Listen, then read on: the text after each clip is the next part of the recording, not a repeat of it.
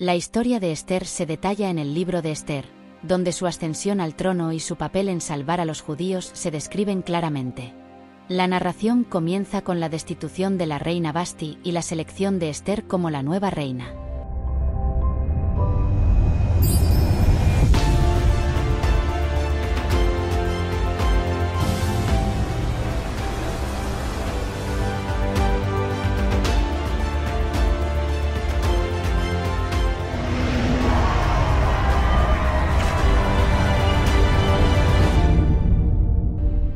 Esther fue llevada al rey Asuero a la casa real en el mes décimo, que es el mes de Tabes, en el año séptimo de su reinado. El punto central de la historia es la intervención de Esther para salvar a los judíos de la trama de Amán. Esther, alentada por su primo Mardoqueo, arriesga su vida para interceder ante el rey. Y entonces Esther respondió, y dijo a Mardoqueo, Ve, y reúne a todos los judíos que se hallaren en Susán, y ayuna por mí, y no comáis ni bebáis por tres días, ni de día ni de noche. Yo y mis siervas también juzgaremos, y después iré al rey, aunque no sea conforme a la ley, y si pereciere, pereceré. Después de los eventos del libro de Esther. Después de que Esther revela la trama de Aman y consigue el permiso del rey para que los judíos se defiendan, la narrativa bíblica no proporciona más detalles sobre su vida o sobre cualquier descendencia que ella pueda haber tenido.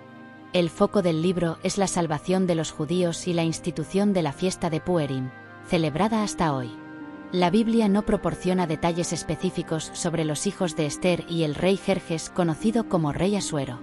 El libro de Esther se centra principalmente en la historia de cómo Esther se convirtió en reina y cómo salvó al pueblo judío del intento de genocidio planeado por Amán. Sin embargo, algunos textos apócrifos y tradiciones judías ofrecen sugerencias sobre la vida de Esther después de los eventos descritos en la Biblia. Según la tradición, Esther tuvo un hijo con Jerjes, llamado Darío II, que más tarde se convirtió en rey de Persia.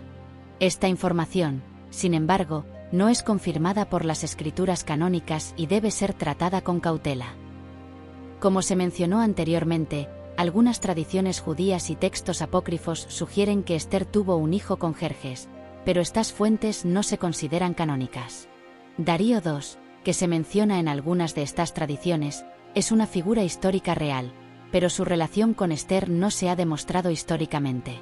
Aunque la Biblia no proporciona información detallada sobre los hijos de Esther y Jerjes, la historia de Esther sigue siendo una poderosa narrativa de coraje, fe y providencia divina. Para aprender más sobre estas figuras y sus contextos, se recomienda explorar no solo los textos bíblicos, sino también las tradiciones y estudios históricos que rodean esta época fascinante de la historia persa y judía. La historia de Esther y el rey Jerjes está llena de coraje, fe e intriga. Aunque la Biblia no proporciona detalles sobre sus hijos, la narrativa destaca el impacto duradero de sus acciones. Queremos saber su opinión sobre esta fascinante historia. Deje su comentario a continuación, regístrese en el canal para más contenido histórico increíble, y no se olvide de dejar su like para apoyarnos. Que Dios te bendiga.